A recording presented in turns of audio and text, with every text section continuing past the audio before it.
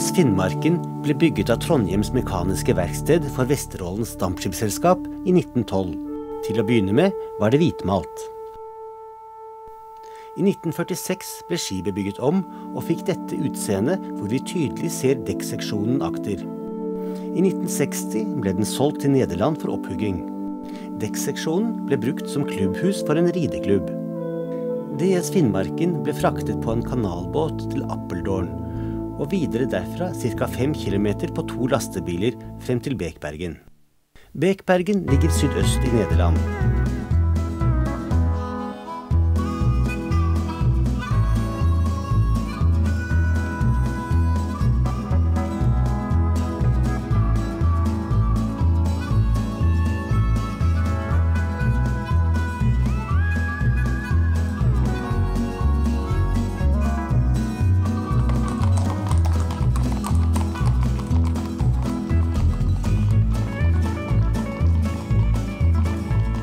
Fra begynnelsen av 1980-årene ble den overtatt av Riant ridesenter. På Riant, med plass til nesten 100 hester, var Finnmarken i bruk som overnattingssted helt frem til høsten 2003. Finnmarken var da bygget inn i dette huset.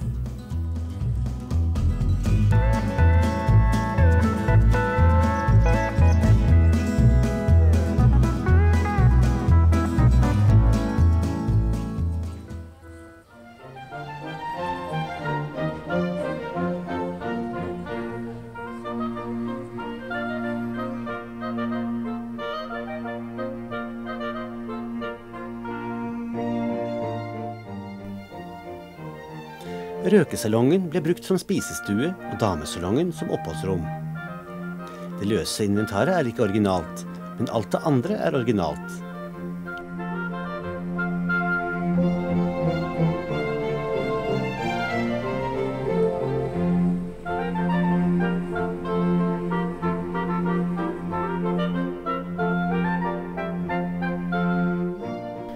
Også trappen opp til øverste dekk og lugarene er originale.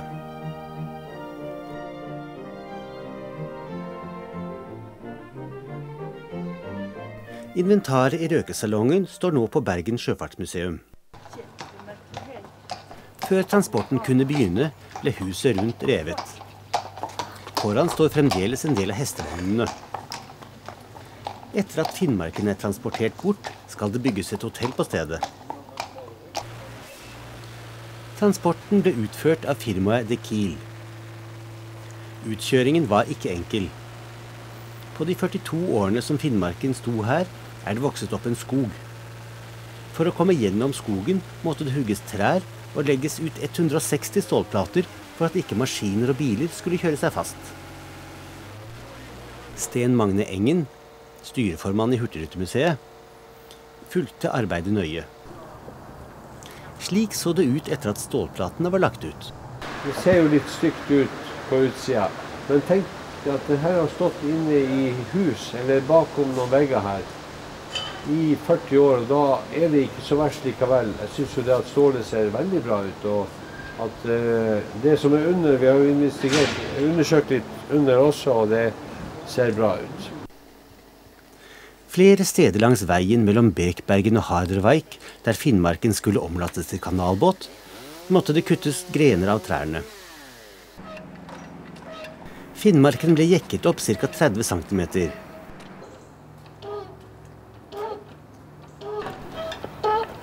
Det ble jekket på begge sider. For å løfte Finnmarken ble det lagt to H30-bjelker under dørken.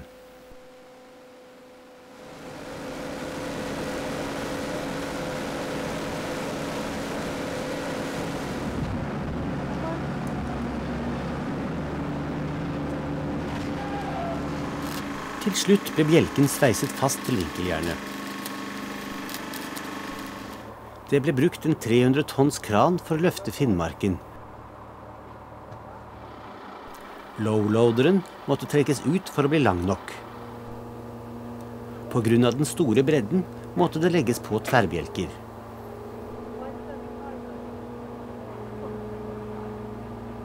Så er det klart for første del av løftet. Noen ledninger under dørken måtte kuttes av før heisingen kunne begynne.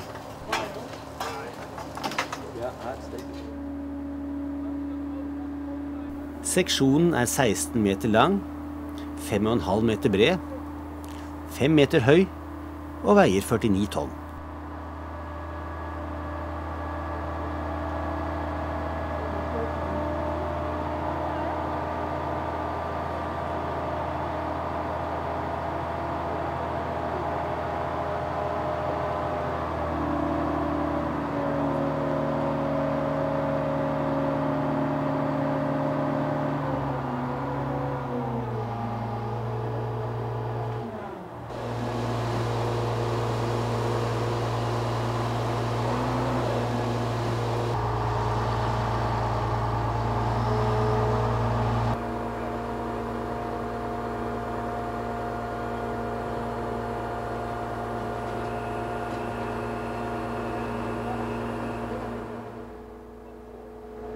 Alt går etter planen, og en stund etter blir Finnmarken plassert på lowloaderen.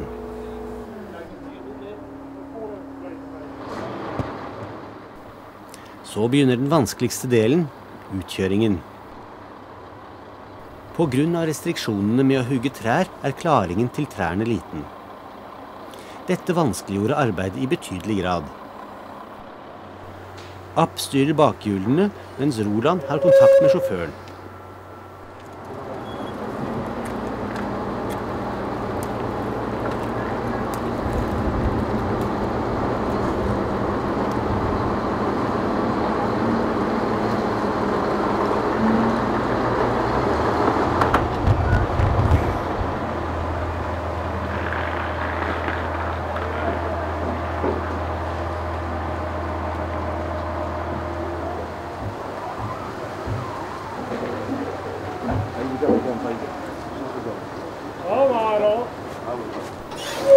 Det lot seg ikke gjøre å komme rundt svingen uten å sage ned et tre.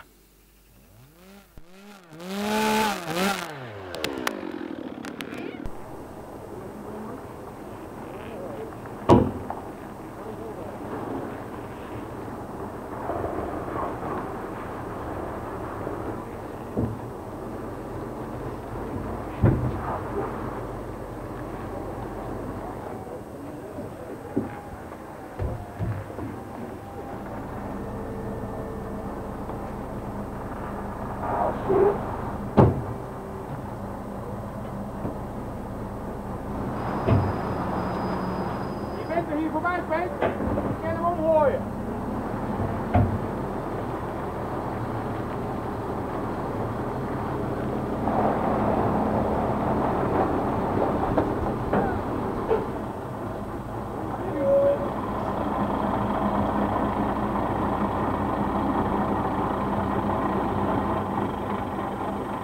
Ja?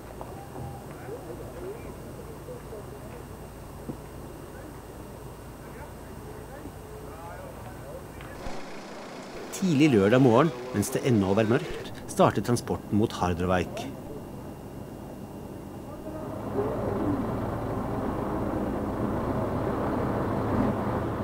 Diverse følgebiler var nødvendige, som bilen med lift for eventuelt å sage ned grener.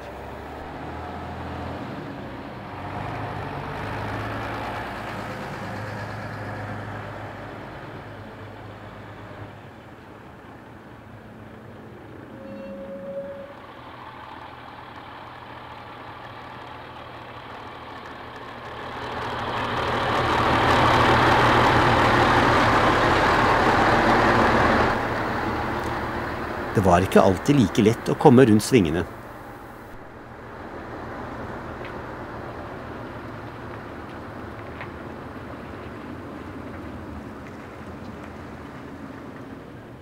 Et sted kom vi til en rundkjøring som var for krapp.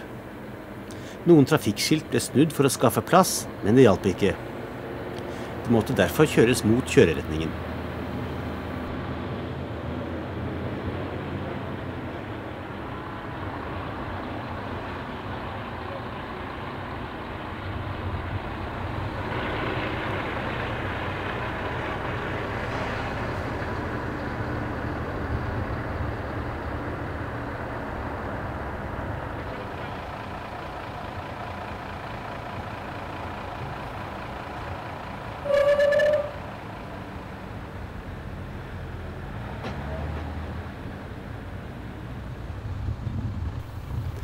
Etter fire timer er transporten kommet ned til kaien i Harderwijk.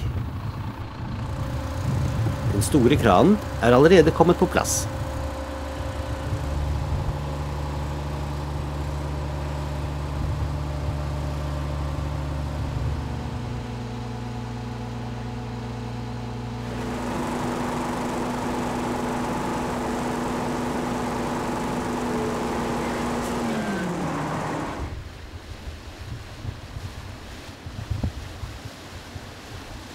På et vis kan vi nå si at DS Finnmarken igjen er kommet i sitt rette element.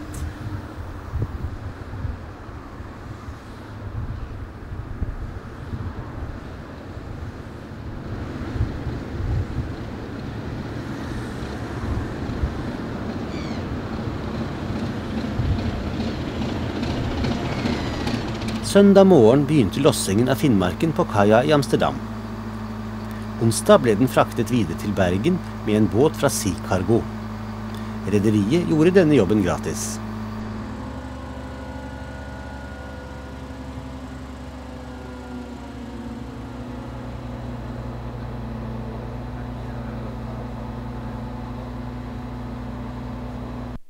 Om ettermiddagen og kvelden var de innbudte gjestene med på en hyggelig rundtur på havnen og kanalene i Amsterdam.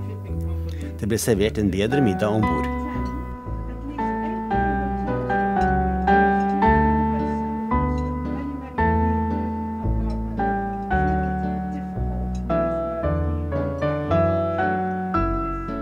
Bergen ble Finnmarken satt på land for å fraktes videre med Nordkargo til Stokmarknes.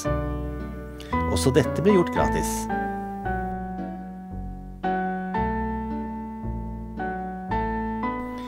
Finnmarken kom til Stokmarknes midt på natten. Neste morgen ble den kjørt bort til Hurtigrutemuseet, hvor den foreløpig skal stå ved siden av MS Finnmarken fra 1956. Endelig, der står han. Og det er bare helt utrolig. altså. Nå føles sånn eh, Nå begynner å løsne inni her, så eh, nå nå kjennes det bra.